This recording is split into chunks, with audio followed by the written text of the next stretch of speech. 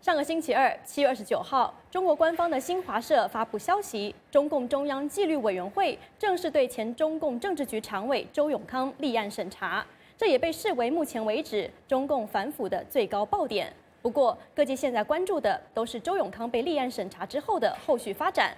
接下来，我们就透过连线，请纽约。在曾经是这个原体制内媒体中国改革杂志社的负责人，也是独立评论人人士的李伟东先生，就有关的话题为我们进行分析。李伟东先生，你好。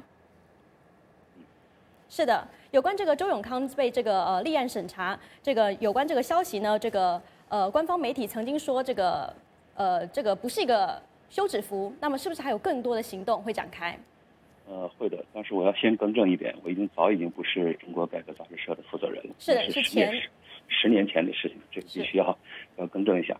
这个不是休止符，因为人民日报已经说出了这个话，这个已经表达了一种决心。但是今天呢，又看到这个呃要呃要要这个这个提防老虎的联手反扑这样一篇评论，也是来自官方媒体的。嗯，这个里边说到这个打虎的密度如果过多。呃，一下子这个这个出现大老虎井喷的现象，党内的承受能力以及民众的承受能力都有问题，所以我觉得这个在是不是还大规模进行打呃打老虎和反腐这个问题上，上面是有所纠结的。是的，那么周永康案呢，这个有被这个经历经过中共这个宣布这个立案审查之后，外界都很好奇，这个习近平他将会如何的处置他？那么您在对这个方面有什么样的分析和猜测？呃，现在看这个进入刑事审判，这个可能性已经越来越大。从现在这个披露出来的种种案情来看，有可能把它定义为这个建国以来最大的，而且是涉黑的，呃，贪腐集团的首犯。是的，那还有没有可能会有比他更大的老虎？就是嗯，这个是肯定有的。是。那么这个习近平的反腐呢，他的这个反腐的行动呢，会不会导致？这个法治的建立，或者是说中国改革的深化，或者是政改的进行呢？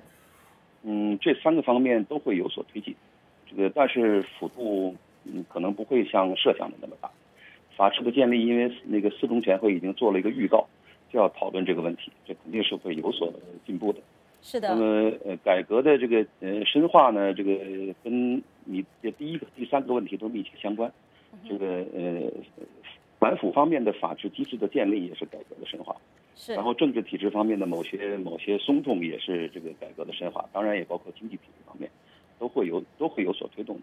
是的，都会有各方面的这个相互的影响。